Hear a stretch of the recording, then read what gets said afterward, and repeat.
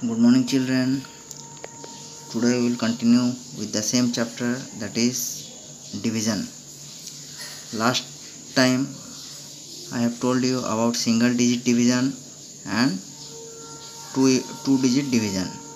So today we will go to another part of the chapter that is unitary method. So children please follow your page number 80 of your textbook that is unitary method. The unitary method is a way of calculating the value of a number of articles by finding cost of one of the article. Unitary method can be used to calculate cost measurements like liters or time. So a unitary method comprise of two steps. Step 1 that is find the value of one unit. What you have to do? First find the value of one unit one particular unit. Then step 2 find the value of required unit. So we can understand this with the help of an example. Like Kimi went to a stationery shop and bought 6 pens for rupees 66 she bought 6 pens for rupees 66 and she want to find the cost of 3 pens. So according to step what we have to do? First we have to find the cost of one pen. 6 pens cost 66 rupees. So one pen will be cost less. So we will get it by division. So first find the cost of one pen.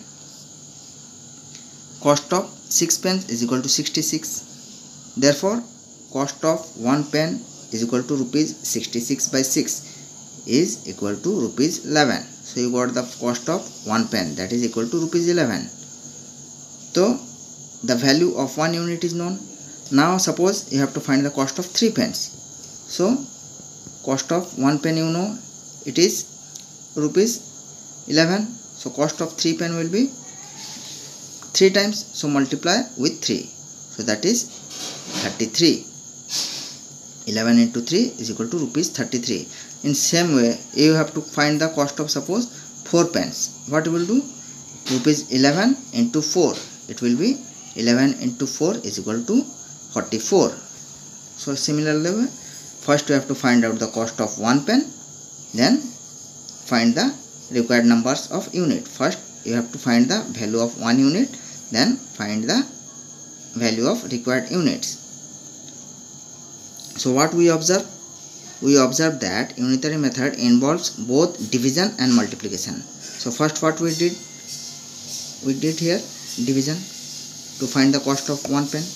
Then what we do we have to do multiplication to find the cost of number of pens given. Suppose it is 3 pen so into 3 suppose it will be 4 pens so it will be 11 into 4 in this way this is called unitary method. So what are the steps we first find the cost of one item by dividing the total cost by the number of items. Then find the cost of many items by multiplying the cost of one item to the number of items. One more example you can do to find out. First suppose example 6 buses carry 300 passengers. 6 buses carries 300 passengers. So what we have to find how many passenger one bus can carry? So one bus can will carry less passenger. So we have to divide 300 by 6 so and what we have to find out actually? We have to find out how many passengers can 15 buses carry. First we have to find what? How many passengers one bus can carry? So number of passengers carried by 6 buses is equal to 300 number of passengers carried by one bus is equal to 300 divided by 6 is equal to 50 here you can do in this way I have taught. 300 divided by 6 is equal to 50 as it comes. Now one bus can carry 50 passengers you know. Now 15 buses how many passenger they can carry? So 15 means into you have to multiply with 15 so number of passengers carried by 15 buses is equal to first number of passenger carried by one bus that is equal to 50 multiplied by 15 that is equal to 750 here you can find out 50 into 15 you can find out 5 into 0 0 5 into 5 25 25 1 into 0 0 1 into 5 5 so here you get the answer. 750 passengers. The bus can carry so you got it?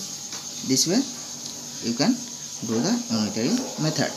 First you have to to get the cost or to get the value of one unit you have to divide with the total unit total value. Then to find the number of unit you have to multiply value of 1 multiplied by number of units you want to get. Understood? So this word problems. 4 to 5 I will do and send you and rest you have to do by yourself. Okay